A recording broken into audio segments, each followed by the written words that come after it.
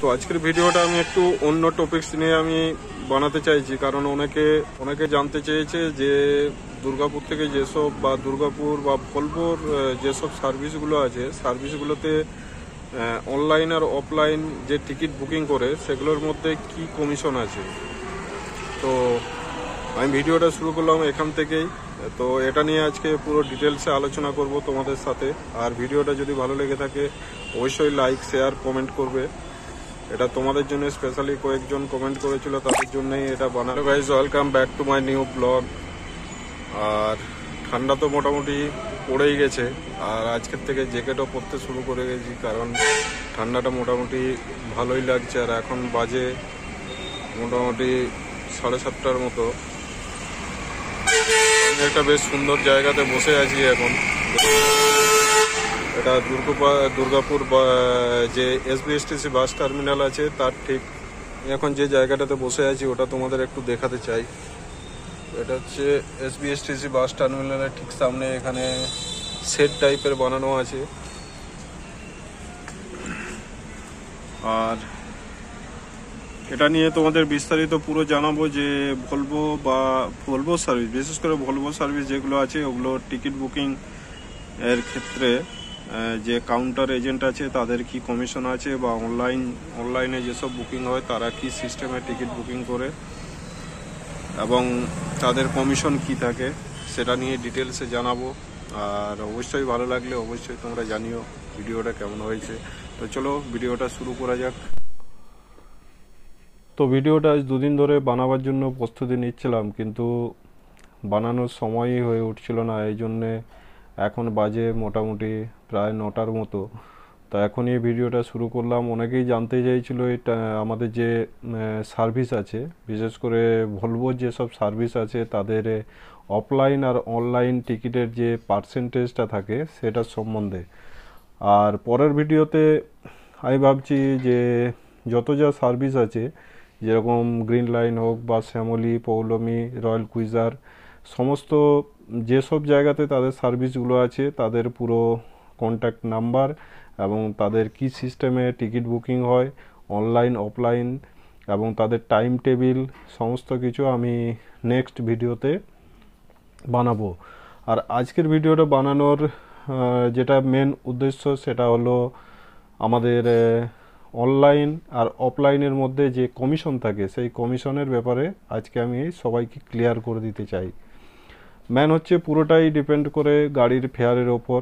First আমি বলতে চাই যে অনলাইন অনলাইন যে থাকে অনলাইন রেড বাস বা আদার্স যেসব সাইটগুলো আছে অনলাইন সাইট যেরকম রেড বাস থেকেও বুকিং করা যায় অ্যামাজন থেকেও বুকিং করা যায় তারপর আপনার যে ইয়েটা আছে, কি নাম মেক মাই ট্রিপ এইসব সাইট থেকেও সমস্ত টিকিট বুকিং করা যায়।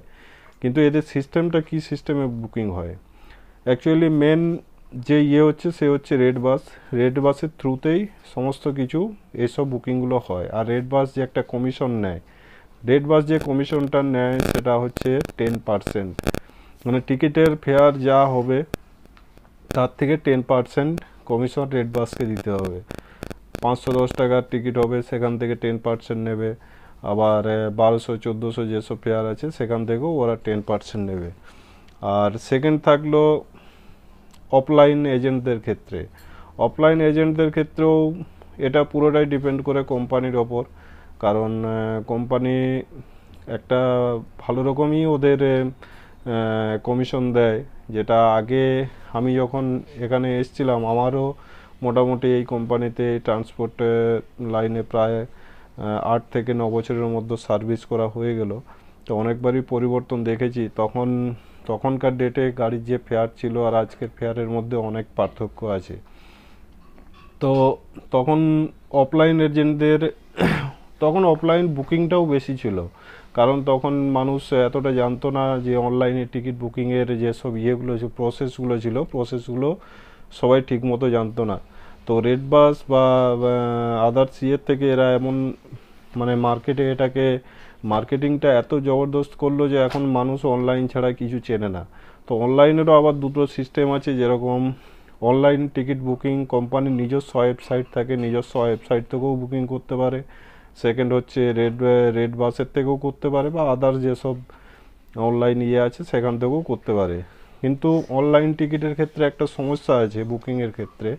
সমস্যা বুকিংয়ের ক্ষেত্রে সমস্যা নেই। মানে ক্যান্সেলেশনের ক্ষেত্রে একটা সমস্যা আছে। যেরকম রেড বাসে যে সিস্টেম দেওয়া আছে, এটা অবশ্য কোম্পানি থেকেই দিয়ে দেয়। যেরকম আমার হয়তো কালকে, কালকের কোনো গাড়িতে টিকিট বুকিং করা আছে, কিন্তু আমি যদি আজকে চাই যে কালকের আমি ওই টিকিটটাকে ক্যান্সেল করব, কিন্তু এতে কী হবে? ক্যান্সেল হবে, কিন্তু সেখানে খুব কম সামান্য টাকা আমার অ্যাকাউন্টে রিফান্ড আসবে। আর রেড বাসের ক্যান্সেল হয় টিকিট ফুল ক্যান্সেলেশন যে চার্জ পাওয়া যায়, সেটা হচ্ছে চব্বিশ ঘণ্টা আগে। আর দ্বিতীয়ত হচ্ছে অনেকের কি হয় মানে বিশেষ করে দুর্গাপুর, আসানসোল যেসব সার্ভিস আছে, এখানে তো মোটামুটি কুড়ি মিনিট, পঁচিশ মিনিট বা আধা ঘণ্টা অন্তর অন্তর এক একটা সার্ভিস পাওয়া যায় কলকাতার জন্যে বা কলকাতা থেকে আসানসোল আসার জন্যে।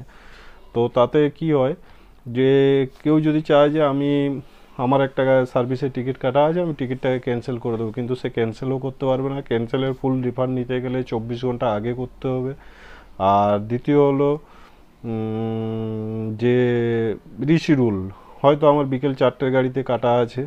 আমার কাজ আগে হয়ে গেছে বা আমার কাজ হতে চারটের সার্ভিস গাড়িটাকে আমি ধরতে পারব না, আমি পরের গাড়িতে যাব। রিশিডিউলও করা যায় না অনলাইনের ক্ষেত্রে। রিশিডিউল হয় কখন? বারো ঘণ্টা আগে। তো রেড বাসে যে কমিশন হচ্ছে পার টিকিটে ওরা টেন পার্সেন্ট নেবে, যা ফেয়ার থাকবে তার উপরে। আর সেকেন্ড হচ্ছে অফলাইন টিকিট। অফলাইনের টিকিটের কমিশন হচ্ছে আপনার এইট পার্সেন্ট এখন যেটা আমাদের কোম্পানি যেটা দেয়, মোটামুটি এক একটা কাউন্টারে কী হয়, বেশিরভাগ মানুষের কোনো টাইম ঠিক করা থাকে না, যে আমি কোন সার্ভিসে যাব বা কটার সময় যাব। তার নিজের যে কাজ থাকে সে কাজের ওপর ইয়ে করে। এই জন্যে যে অফলাইন কাউন্টারগুলো দেওয়া হয়েছে, তাদের, তারা এটার ফায়দাটা নেয়। তো প্যাসেঞ্জার চলে এলো কাউন্টার থেকে টিকিট করে দিল এবং তাদের যা ফেয়ার থাকবে ফেয়ারের ওপরে এইট পার্সেন্ট করে তারা কমিশন পায়। তো এটাই জানার জন্য অনেকেই আমাকে মেসেজ করেছে, বারবার ধরে করছে যে এই ভিডিওটা বানানোর জন্যে। তো তাদের উদ্দেশ্যেই আমার এটা বানানো। আর এইট পার্সেন্ট যেটা আমাদের কোম্পানি বা আদার্স কোম্পানির ক্ষেত্রে, সব কোম্পানিতেই সেম আছে। কারণ এগুলো যখন হয় কমিশনের ব্যাপারটা, তখন কোম্পানি সবাই মানে একটাই এতেই চলার চেষ্টা করে। আর অফলাইন টিকিটের ক্ষেত্রেও অনেক মানে সুবিধাও আছে। যেরকম হয়তো এক ঘণ্টা আগে বা কুড়ি মিনিট আগে সে যেসব, যে কাউন্টারে টিকিটটা বুকিং করেছে, হয়তো সে কোনো কারণবশত যেতে পারছে না বা কোনো কাজে সে আটকে পড়েছে, সে যদি তাদের ফোন করে বলে দেয় যে, দাদা, এই সমস্যা হয়েছে, টিকিটটা আমি যে এখন যেতে পারব না। বা নেক্সট ডে যাব বা পরের সার্ভিসে যাব, তখন তারা সেটা করে নিতে পারে। কিন্তু এটা অনলাইনের ক্ষেত্রে এটা সম্ভব নয়। কারণ অনলাইনের ক্ষেত্রে এটা যদি সম্ভব মানে এই জিনিসটা কার্যকরী হয়ে যায়, তাহলে কিন্তু সার্ভিসের বারোটা বেজে যাবে। কারণ যদি কুড়িটা, একটা গাড়িতে কুড়িখানা অনলাইন থাকে, তারা দশজন যদি এসে বলে যে, দাদা, আমার কাজ হয়ে গেছে, আমি আগেই চলে যাব, আমাকে এখনই করে দিন। এটা কোনো সার্ভিসের পক্ষে এই জিনিসটাকে মেনটেন করা সম্ভব হবে না। আর আজকের ডেটে এরকম কেস অনেক প্রায় আজকের এই আমার অভিজ্ঞতা, আজকে আমাদের যে একটা সার্ভিস ছিল, সার্ভিসের মধ্যে প্রায় পাঁচজন একসাথে চলে এসছে। দাদা, আমাদের এই সার্ভিসে টিকিট কাটা ছিল, আমাদের কাজ কমপ্লিট হয়ে কমপ্লিট হয়ে গেছে অনেক আগে। তো আমাদের তো গাড়ির যা টাইম আছে দু তিন ঘণ্টা পরে আছে, এটাকে যদি আগে করে দেওয়া যেত, খুব ভালো হতো। এটা অনলাইন টিকিটের ক্ষেত্রে এটা একটা সমস্যা। এবারে গাড়িতে যদি সিট খালি থাকে, তখনই এই সব টিকিটগুলোকে আমরা করে দিই। কিন্তু হিসেব মতো এটা করা যায় না। এটাকে আমরা করে দিই, আর সেকেন্ড হচ্ছে, এটা অফলাইন টিকিটের ক্ষেত্রে কি হয়, তাকে ওই জায়গাতে আসতে হয় না। তারা যদি ফোন করে বলে দেয় যে, দাদা, আমার কাজ হয়ে গেছে, আপনি আগের যে গাড়িটা আছে, ওই গাড়িতে আপনাকে, আপনি আমাকে যদি সিট খালি থাকে, আপনি আমাকে শিফট করে দিন। তখন এরা সেটা করে দেয়। যদি তাদের, এবং আরেকটা জিনিস হচ্ছে অনলাইন আর অফলাইন দুটো সিটের যে ইয়েটা থাকে, আপনারা দেখতে পাবেন যে একটা সিট চার্ট দেওয়া থাকে। সিট চার্টের মধ্যে বেশিরভাগ সিট দেখবেন ফ্রন্ট সাইডে যেসব সিটগুলো হয়, বিশেষ করে কলকাতা, আসানসোল বা আসানসোল কলকাতার ক্ষেত্রে ফ্রন্ট সাইডের সিটগুলোর কোটাটা থাকে আপনার কাউন্টারের মানে অফলাইন এজেন্টদের জন্য। আর বাকি যেসব ইয়েগুলো থাকে, সেগুলো থাকে অনলাইনের জন্যে। এই জন্যে অনেকেই আছে, অনেক সময় দেখা গেছে গাড়ি অলরেডি ফুল হয়ে গেছে হ্যাঁ? আর অনেকেই বলে, দাদা, আমাদের সামনে সিট দিন। কারণ তারা দিতে পারে না। কারণটা এটাই, ওটা অফলাইন এজেন্টদের যে সিটটা থাকে, তারা ওই সিটটা ডাইরেক্ট প্যাসেঞ্জারদের সেল করে। তো মেন কথা হচ্ছে কাউন্টারদের পার্সেন্টেজ হচ্ছে আপনার এইট পার্সেন্ট করে পার টিকিটের ওপর যা ফেয়ার থাকবে। আর সেকেন্ড হচ্ছে, আমি সেকেন্ড যে ভিডিওটা বানাবো, সেটা হচ্ছে সমস্ত যেসব কাউন্টার আছে যাতে দুর্গাপুর, আসানসোল, কলকাতা, শিলিগুড়ি, পুরী বা বোকারো, এদিকে রাঁচি, সমস্ত যেসব কাউন্টার আছে, তাদের প্রত্যেকটা কাউন্টারের কন্ট্যাক্ট ডিটেলসটা আমি দিয়ে দেবো।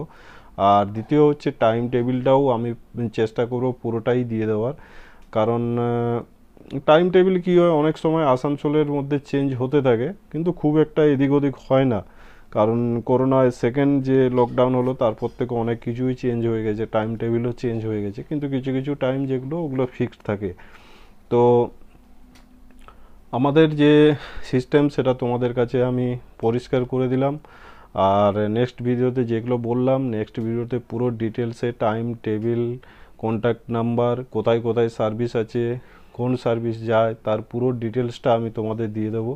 আশা করি তোমাদের এটাতে যেটা তোমরা জানতে চেয়েছিলে, এটা শর্ট ভিডিওর ভিডিওর মাধ্যমে এটা আমি তোমাদের জানানোর চেষ্টা করলাম। যদি ভালো লাগে, অবশ্যই জানিও কমেন্ট করে জানিও।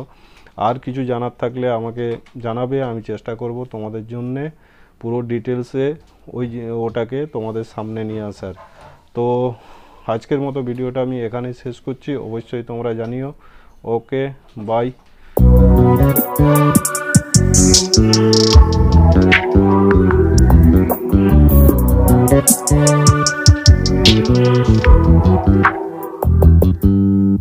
You just always been a tighter rush I've been laid back, yeah. I don't wanna skip.